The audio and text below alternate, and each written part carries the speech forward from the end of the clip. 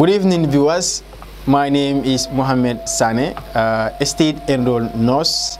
I am here to introduce you a new program that is called Health Talk Show that will come on your way every Wednesday on Sunu Side TV.